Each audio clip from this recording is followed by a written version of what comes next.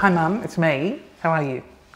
Yeah, good. Uh, Just quickly, I'm just about to film something, but I've just put you as next of kin. I'm getting on a plane that does spins and shit, so um, just a heads up. Okay. No, no, no. Uh, yep. No, I know I have a massive fear of flying. No, it'll be fine. It'll be fine.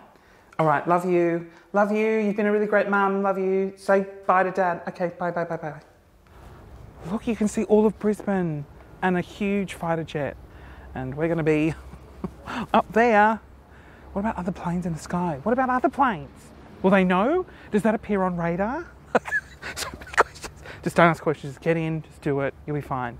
Oh, firstly, how am I going to get up that ladder and into that? It's going to be like watching a seal try and get up. Left foot goes into there.